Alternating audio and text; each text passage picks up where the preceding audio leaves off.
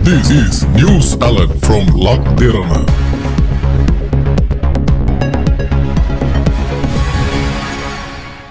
විශාල අර්බුදයක් බවට පත්ව ඇති ඉන්ධන ලබාදීම විසඳීමට තමන්ගේ ප්‍රදේශයේ ලියාපදිංචි වී ඉන්ධන කෝටාවක් ලබාදීමේ ක්‍රමයක් ගැන පහුගිය දිනවල කතාබහ වූ නමුත් එය අතහර දමා ඇති අතර අංක තහඩු ක්‍රමයකට යාමට බලශක්ති ඇමතිවරයා සූදානම් වී ඇතැයි අද දන්වා සිටියේය.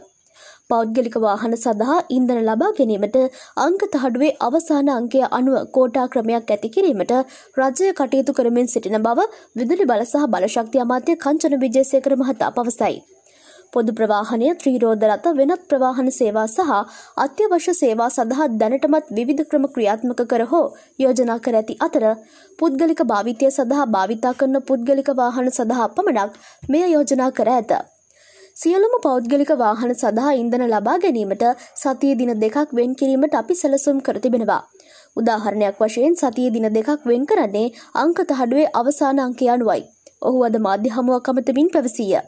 එබැවින් උදාහරණයක් ලෙස අංක තහඩුවේ බින්දුව එක සහ දෙක ලෙස අවසාන ඉලක්කම් ඇති වාහන සදුදා සහ බ්‍රහස්පතින්දා දිනවල ඉන්ධන ලබා ගැනීමට ඉඩ දිය හැකි. අනෙකුත් ඉලක්කම් සඳහාද එය එසේම වෙයි. අමාත්‍යවරයා වැඩිදුරටත් පැවසීය.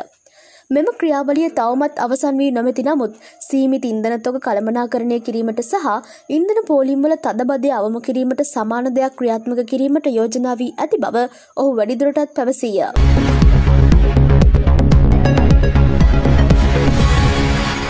උණුසුම් පුවත් දෙසනින් දැනගන්න ලක්දරන අපිව සබස්ක්‍රයිබ් කරන්න වීඩියෝවට ලයික් කරන්න කමෙන්ට් කරන්න ෂයා කරන්නත් අමතක් කරන්න එපා